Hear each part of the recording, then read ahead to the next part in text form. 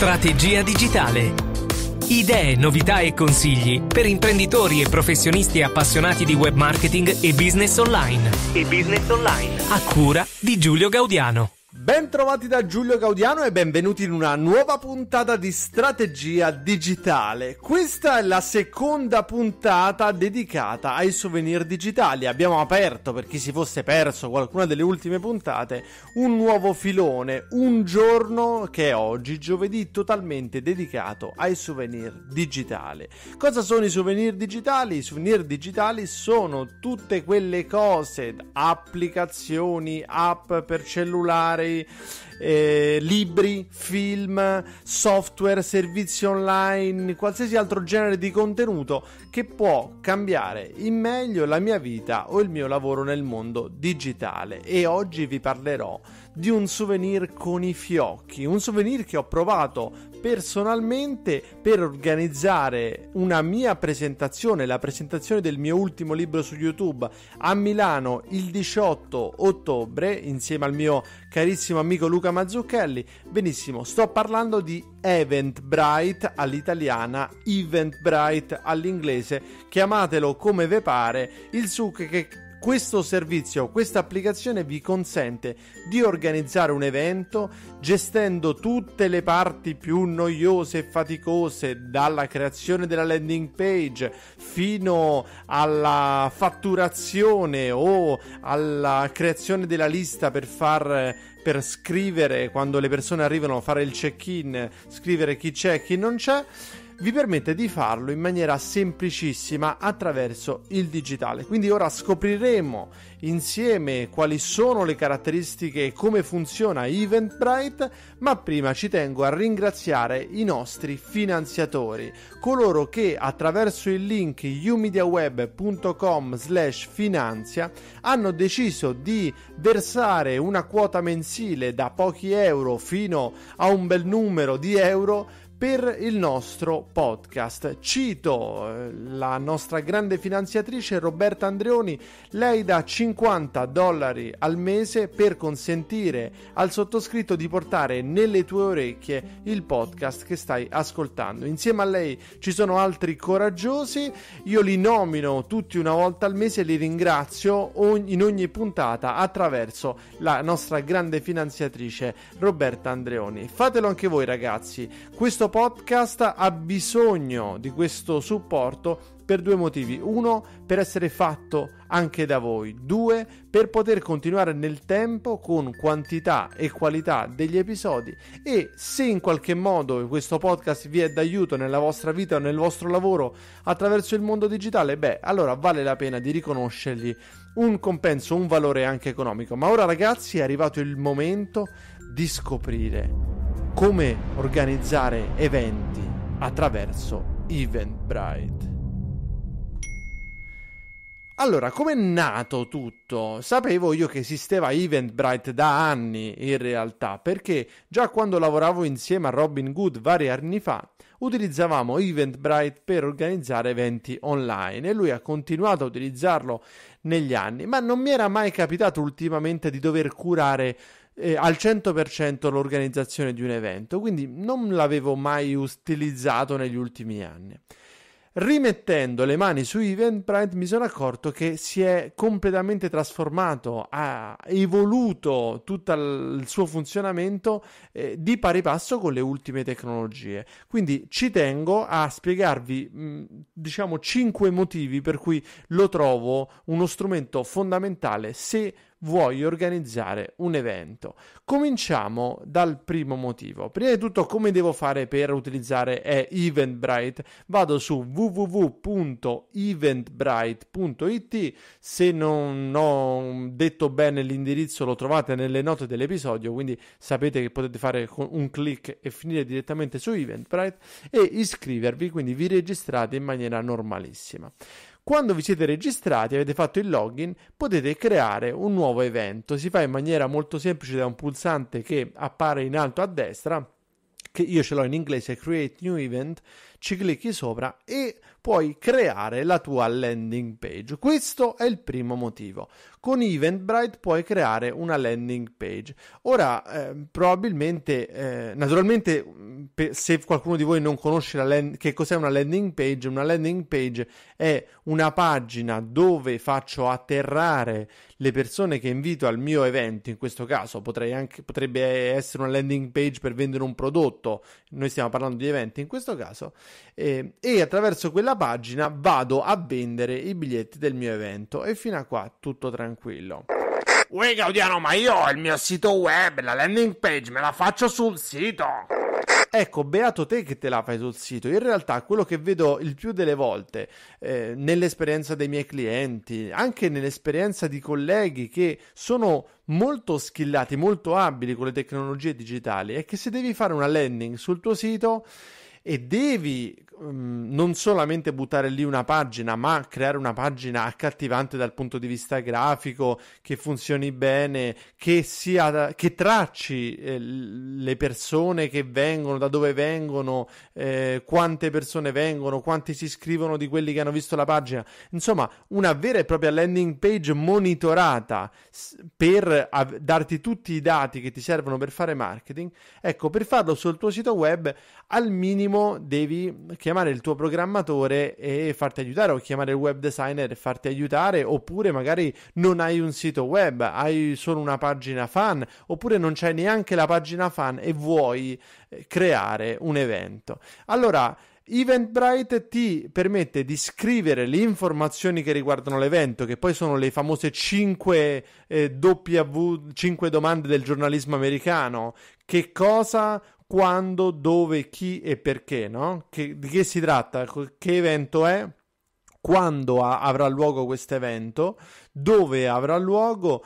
chi lo organizza e perché ci dovrei andare. Tutte queste informazioni Eventbrite te le fa scrivere all'interno di un form molto semplice.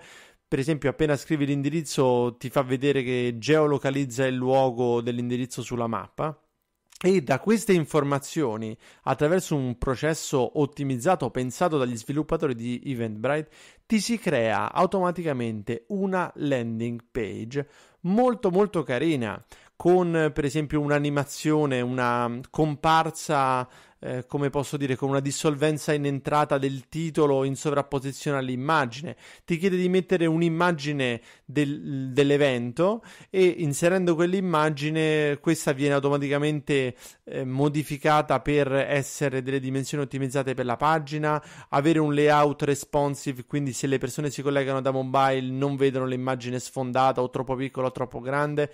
Insomma, tutte queste informazioni che tu fornisci, questi dati, queste 5, eh, le risposte a queste 5 domande più un'immagine che descriva l'evento, vengono impacchettate da Eventbrite in una landing page molto molto carina.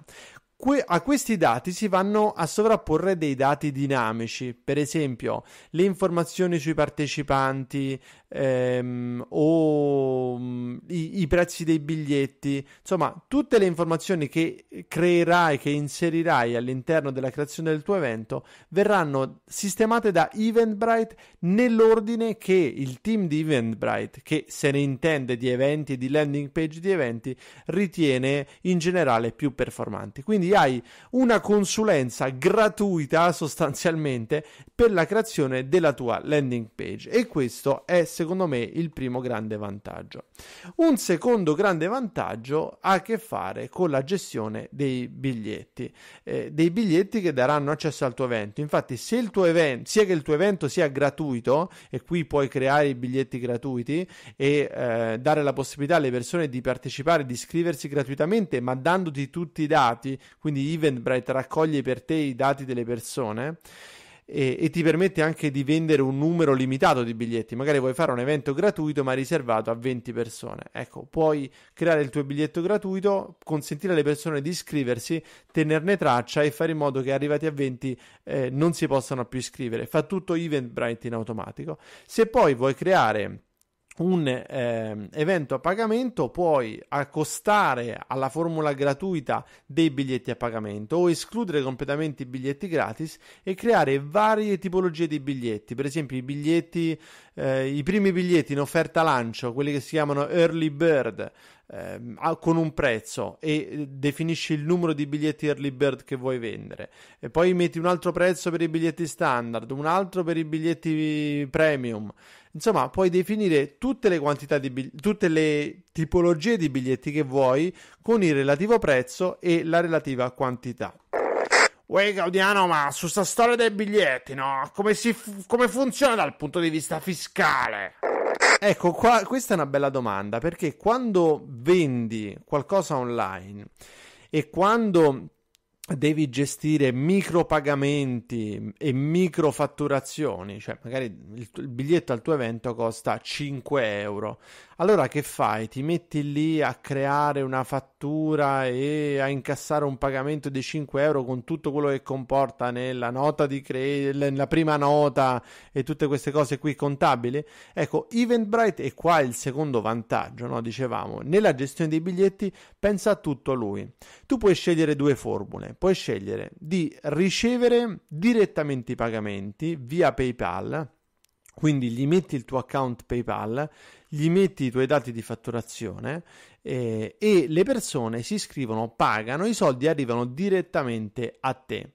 PayPal si prende una piccola percentuale, ma visto che i soldi arrivano direttamente a te, eh, scusate, non, non intendevo PayPal, Eventbrite, dicevo, si prende una piccola percentuale. Quindi eh, siccome i soldi arrivano direttamente a te, allora Eventbrite ti emetterà una fattura che tu salderai ehm, perché l'incasso dei biglietti ce l'hai avuto diretto.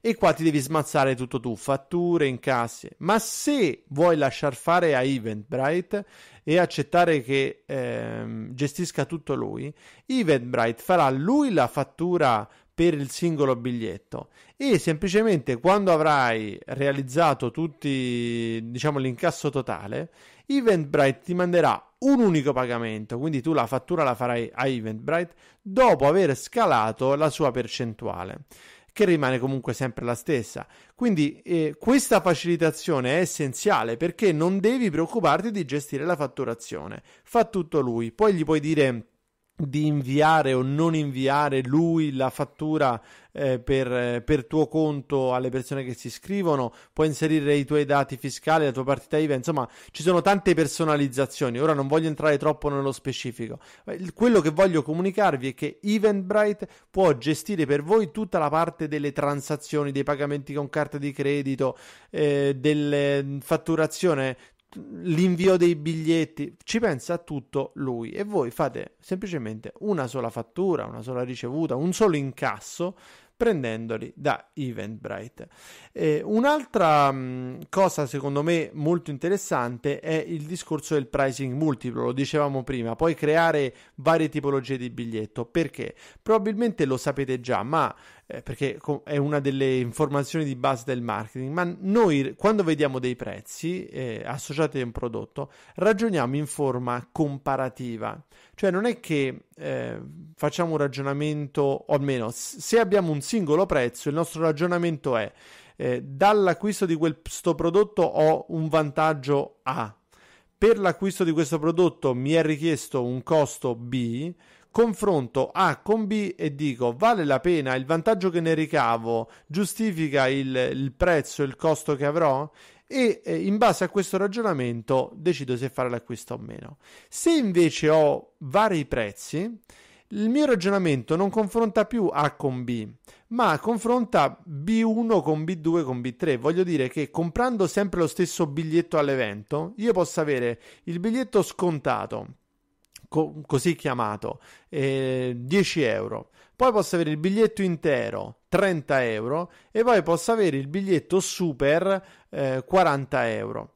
Quando vado ad acquistare l'evento, il mio ragionamento non è più vale la pena, mettiamo che i biglietti scontati stanno per finire, eh, non è più vale la pena spendere 10 euro per andare a questo evento, ma è o eh, tra poco non potrò più pagare 10 euro, ma pagherò su quei 10 euro altri 30 euro in più perché il biglietto standard costa 40 euro. Mettiamo, ora non mi ricordo bene i numeri che ho detto due secondi fa, ma il succo è questo: ci concentriamo sulla differenza tra i due o tra i tre prezzi piuttosto che sul rapporto tra il prezzo e il beneficio che ne posso trarre. Quindi è essenziale poter avere un pricing multiplo, avere vari prezzi. Non è una cosa da sottovalutare, ti fa vendere un sacco di più, ti fa guadagnare un sacco di più. Io sono un amante della, dell'incasso attraverso carta di credito, eh, naturalmente per cose che vengono vendute online. Consiglio sempre di muoversi in maniera autonoma senza stare dietro alle banche, andare su PayPal, creare un pulsante di pagamento, permettere alle persone di acquistare acquistare i tuoi prodotti o servizi in maniera diretta e immediata senza chiedergli prima di telefonarti, di contattarti, di mandarti l'email. Ma per fare la stessa cosa con PayPal è insomma più scocciante, è più impegnativo, devi andare là, creare tre diversi pulsanti di pagamento, insomma non è la stessa cosa. Eventbrite ti permette come se stessi, non lo so, facendo un'operazione di base a, sul tuo computer, semplicemente premendo un più, scrivendo il nome del biglietto, la quantità e il prezzo, di creare potenzialmente infiniti biglietti per offrire varie alternative di prezzo alle persone che si iscrivono nel tuo evento. Addirittura se un prezzo è associato a un determinato posto, mettiamo che sia uno spettacolo teatrale l'evento, eh, puoi dire a quali posti è associato all'evento. Quindi veramente un grande livello di dettaglio. Ora, senza io, per esempio, con l'evento che ho organizzato, non sono sceso così nello specifico, ho semplicemente creato tre prezzi diversi, ma ora ho finito tutti i biglietti al prezzo scontato e, e automaticamente si stanno vendendo i biglietti al prezzo standard. Quindi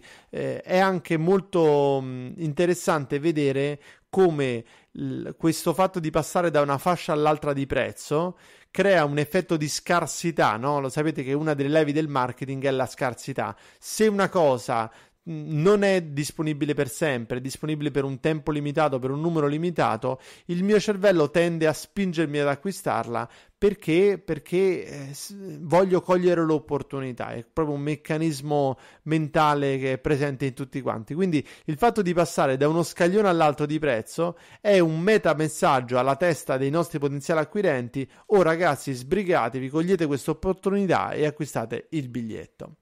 Il terzo motivo per utilizzare Eventbrite per organizzare i vostri eventi online sono i link. Che cosa voglio dire? La vostra landing page eh, avrà un link univoco, un indirizzo web univoco da voi personalizzabile. Uè, non l'ho capita questa dell'indirizzo personalizzabile. Te la spiego subito. Quando crei l'evento, puoi eh, o beccarti l'indirizzo classico www.eventbrite.com co.uk slash eh, un numero univoco relativo all'organizzatore slash oppure puoi personalizzare la URL quindi personalizzare l'indirizzo con un dominio di terzo livello. Per esempio, il, l'indirizzo dell'evento che io ho creato è videobusinessmilano.com www.eventbrite.com. Se voi andate su videobusinessmilano.eventbrite.com troverete l'evento che ho organizzato di presentazione del mio libro insieme a Luca Mazzucchelli e questo indirizzo io ve l'ho potuto dire attraverso il podcast, cioè ve lo sto dicendo e voi lo potete ricordare, Video Business Milano, perché ci sono delle parole che non sono cifre, numeri strani, quindi è un, un indirizzo pronunciabile. Ed è molto molto importante perché poi quando mi scrivono via Snapchat e mi dicono scusa dov'è che trovo le informazioni sull'evento del quale hai parlato in quello snap, io posso mandargli un messaggio ricordandomi io stesso l'indirizzo quindi senza fare copia e incolla complicati, e gli scrivo http videobusinessmilano.eventbrite.com. Questo indirizzo li manda direttamente alla landing page. E quindi è un grande vantaggio avere una URL, un indirizzo web brandizzato. Ma non è finita qui, ragazzi, perché Eventbrite vi permette anche di creare dei link tracciati per i vostri affiliati. Eh, dei link personalizzati e univoci che vi consentiranno di tenere traccia chi porta persona al vostro evento. Uè Gaudiano, ma cos'è che sono questi affiliati? Gli affiliati sono tutti coloro che eh, possono, ricavando un beneficio economico da questa attività o meno, lo, facendolo per simpatia, portare i loro amici al tuo evento. Ora, mettiamo che eh, io per esempio insegno all'Istituto Rossellini, eh, che è un, una, un, corso che parla di video.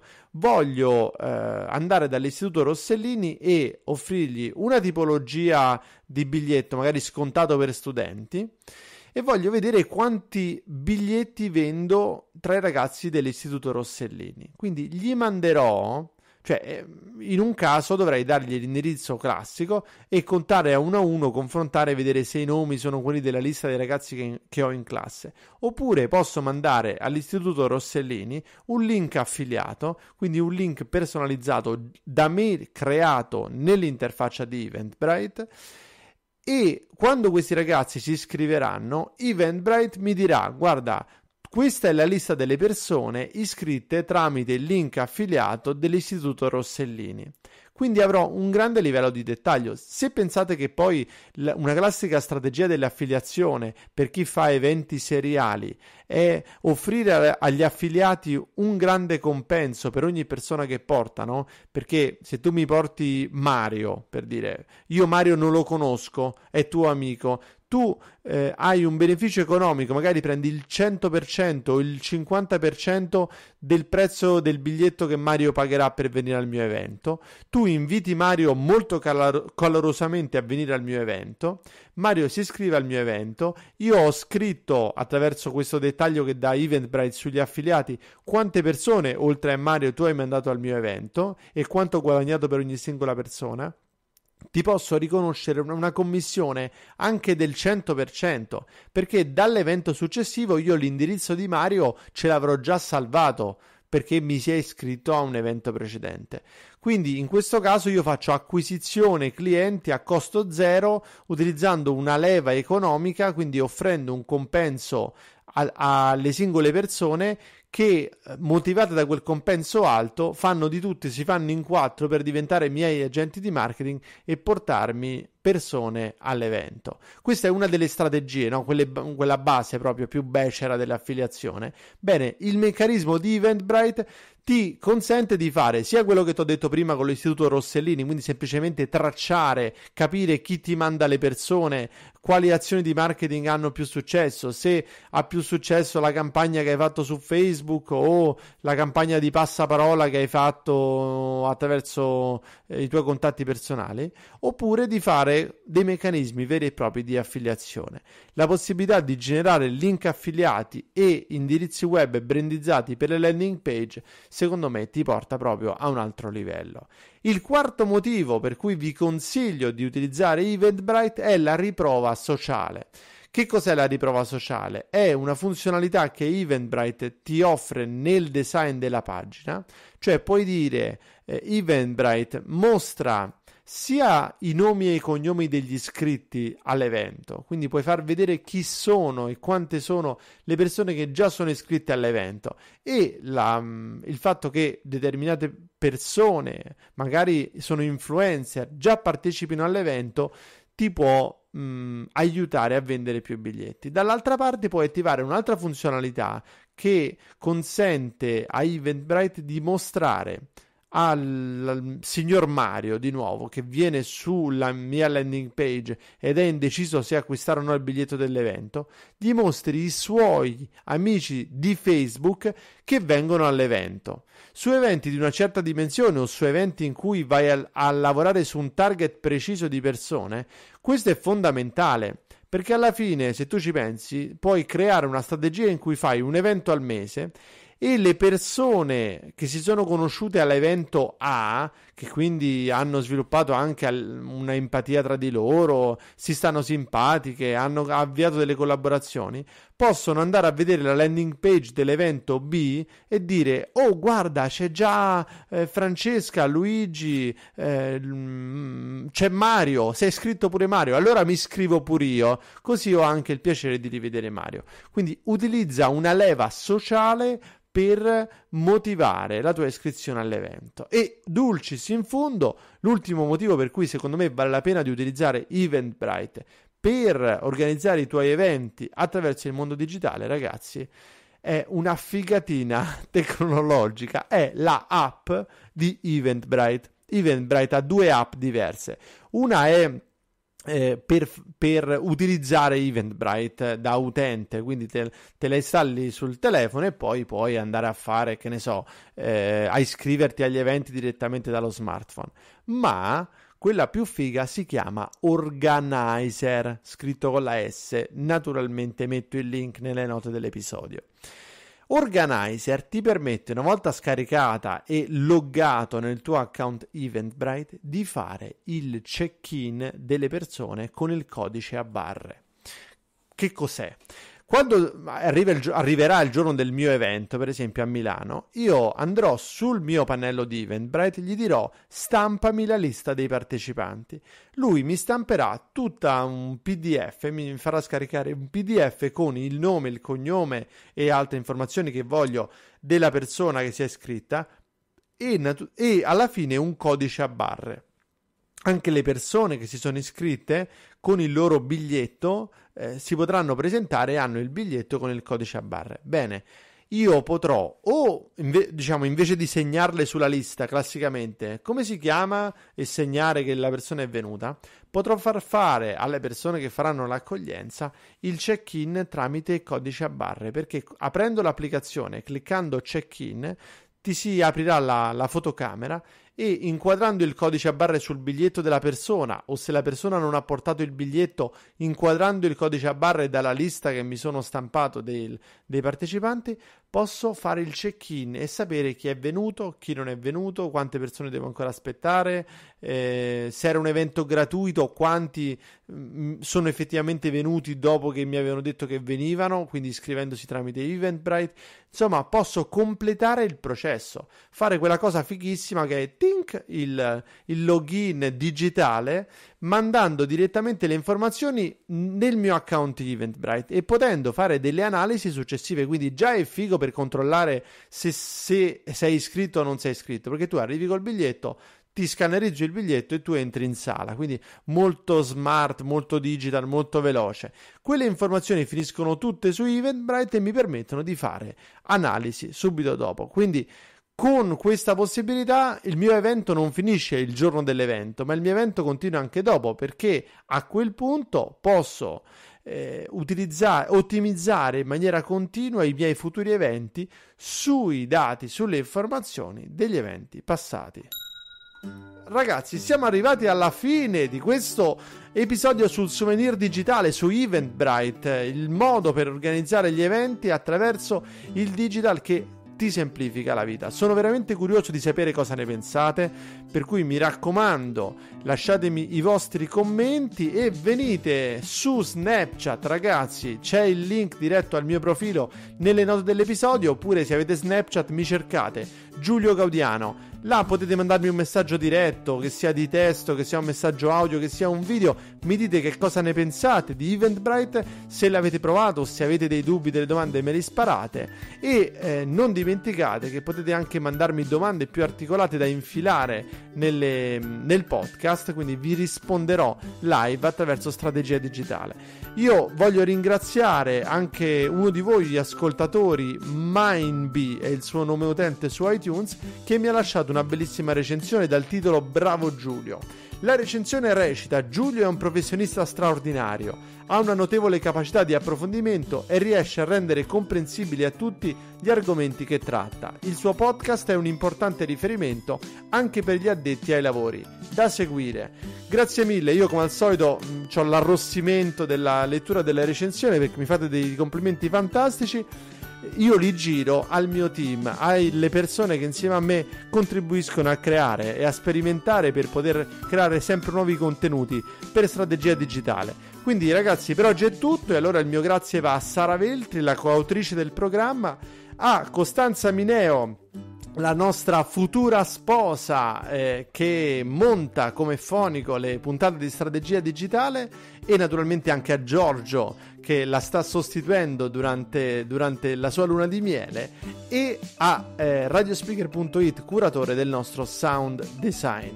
Grazie mille e alla prossima! Strategia digitale Idee, novità e consigli per imprenditori e professionisti appassionati di web marketing e business online. E business online. A cura di Giulio Gaudiano.